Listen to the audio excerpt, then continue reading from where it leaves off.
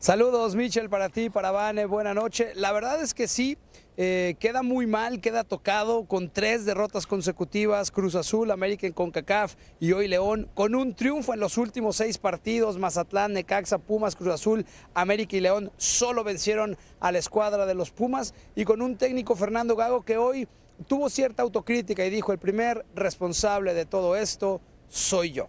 Hoy lo único que les, les queda y les resta es mañana trabajar, levantar la cara y tratar de hacer el milagro, porque necesitan hacerle cuatro goles al América para poder pasar la ronda. Y ahí podemos agregar un dato más. Chivas duró 270 minutos sin marcar hasta el penal que hizo Roberto el Piojo Alvarado. Entonces evidentemente no pinta bien el panorama en la siguiente semana para el equipo de Chivas. Tendrá que viajar.